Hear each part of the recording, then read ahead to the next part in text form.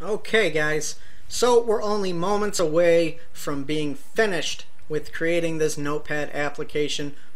Might I mention using absolutely no code behind, which is really fun to do. Uh, you, you, really feel accomplished when you do that. So uh, here, I don't know if it would be better.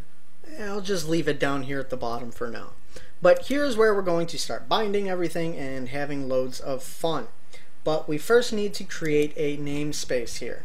So we'll go to our window, we'll go to the namespace here, we'll do XMLNS, and we're going to call this view models because now we are going to be connecting to the CLR name space WPF notepad.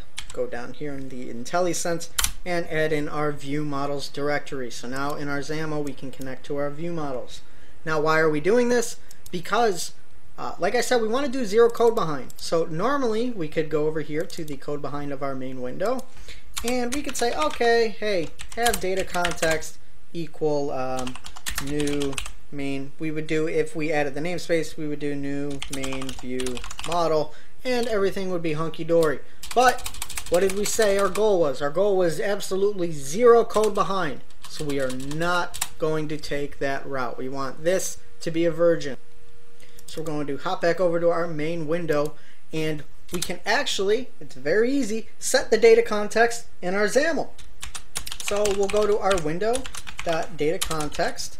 I like to do it in a separate tag. You could do it as a property if you wished. Um, we're going to do our window data context and we're going to access our view models namespace we created and notice we uh, this is another cool thing too about doing it here uh, IntelliSense will actually tell us what's connected now so here we have our main view model and our help view model in our view models folder. So we can actually just say, hey, connect to the main view model. And it lets us know what we have access to.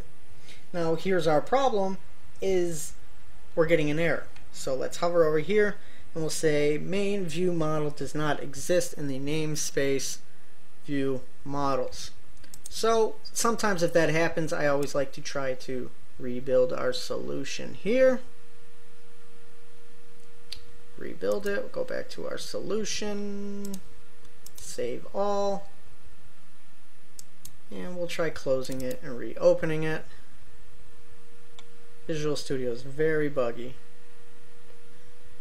Okay guys, so I figured out my problem there. And sometimes you will actually get that uh, if you just need to build or rebuild or clean solution.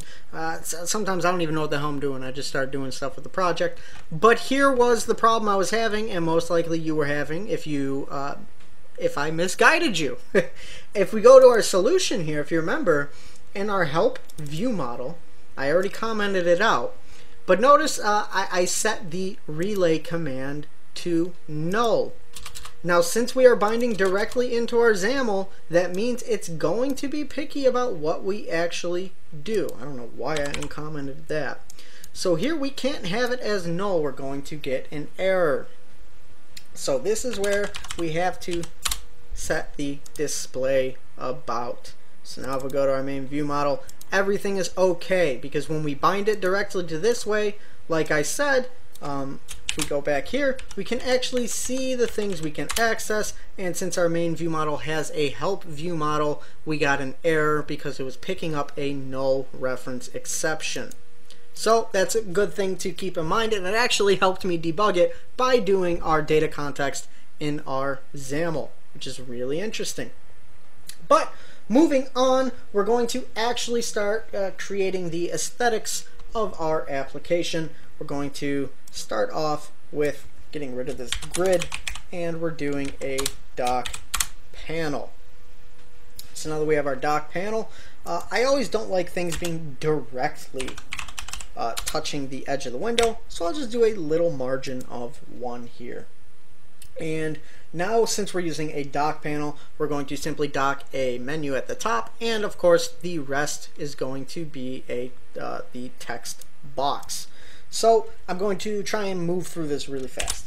So we're going to do a menu and dock panel dot dock. We want the menu to be at the top here. And inside we're going to do menu items, or no, menu dot items Okay, so here we're going to set the items of the menu, and we're going to do a menu item, and we'll call, uh, eh, change my mind. We're going to do a header here. The header is going to hold the text, and we're going to have a new open save save as. So new open save save as. We'll copy paste and we'll simply change the header save save as and then we're going to move on and we're going to have another menu item so now just keep in mind um, these uh, here's the menu items and now we have a menu item here. But actually this is wrong because if you look up top we don't want that. We want a drop down menu and that's because I forgot to do a menu item, okay, and inside of that menu item, we will then have these menu items. Uh, let me try and save here. I'm going to get an error because of this. Okay, and we'll save. So now we have this, and of course we want the header of this to be file. So now we have that. So when we click file, we'll get these menu items as a drop down.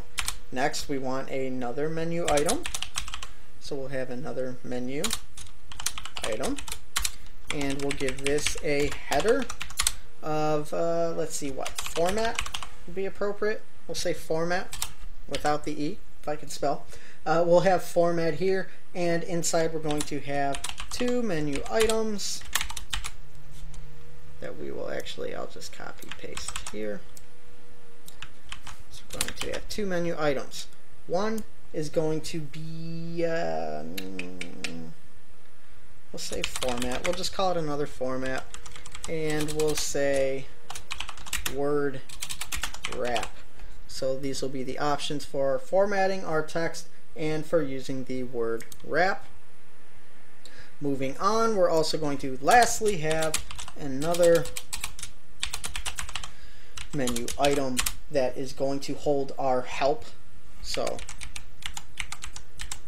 going to do a header and we'll call this help and we're only going to have one menu item here with the header of about. You can add whatever else you'd like if you are interested, but for now we're only going to open up an about window.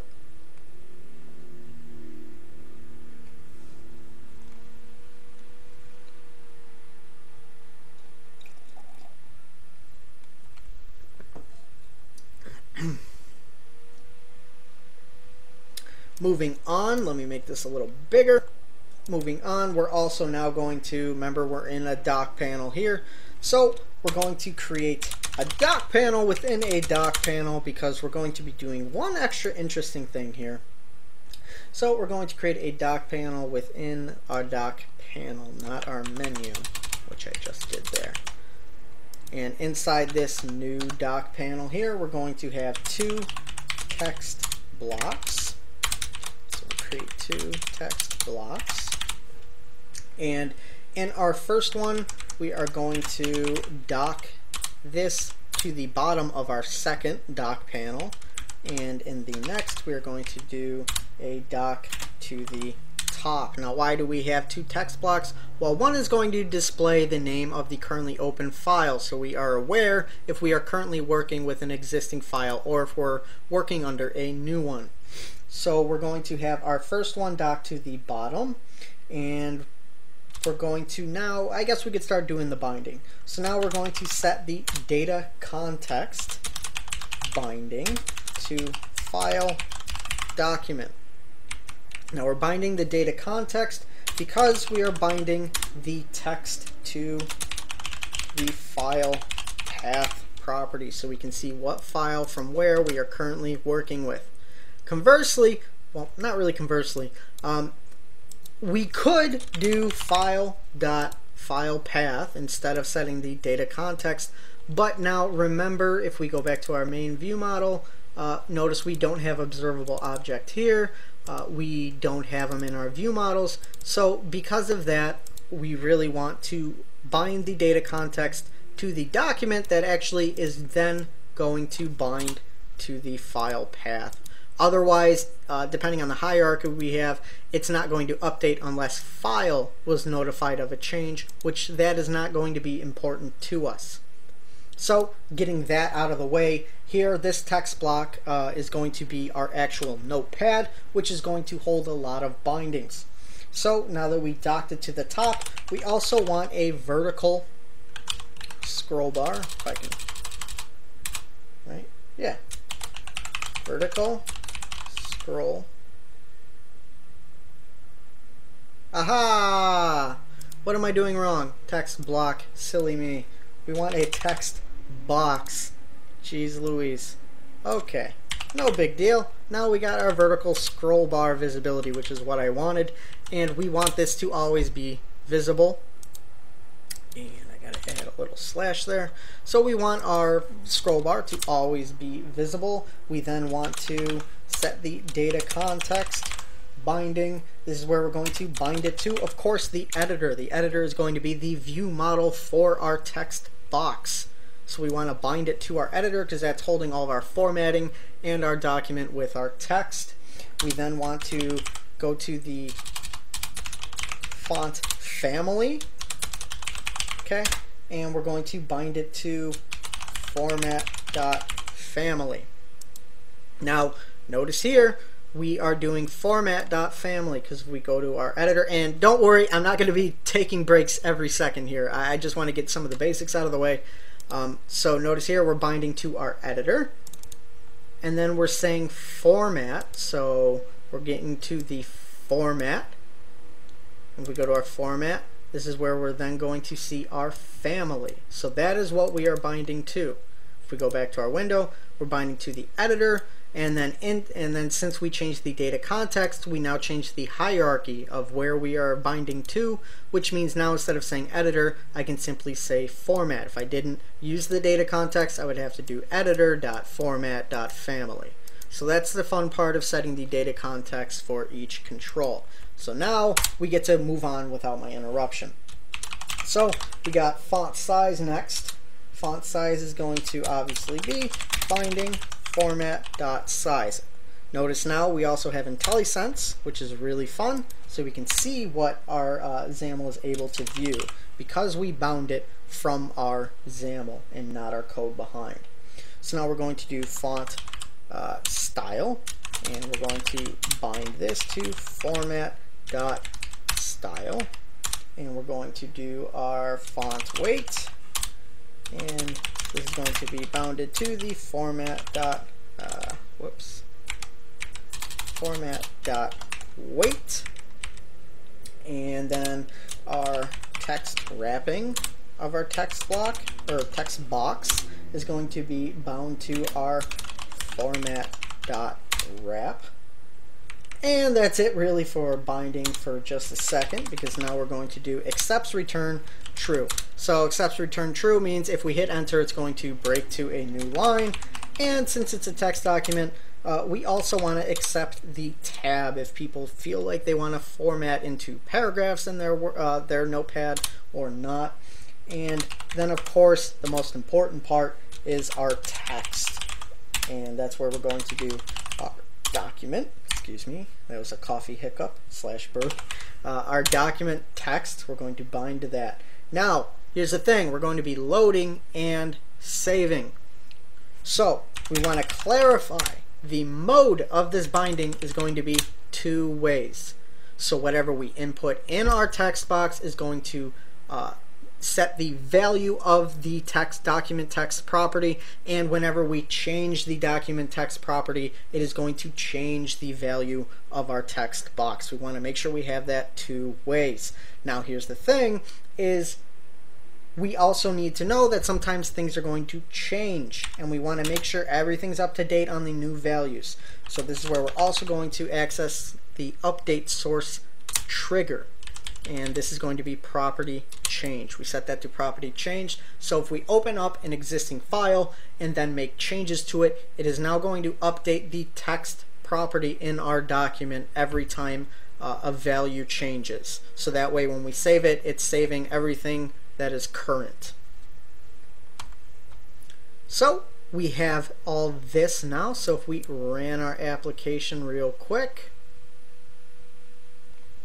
we have all this fun stuff. We can hit enter, go to new lines, one, two, three.